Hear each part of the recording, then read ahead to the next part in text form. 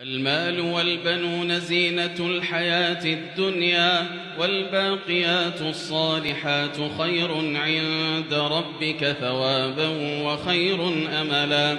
ويوم نسير الجبال وترى الأرض بارزة وحشرناهم فلم نغادر منهم أحدا. وعرضوا على ربك صفا لقد جئتمونا كما خلقناكم أول مرة بل زعمتم أن لن نجعل لكم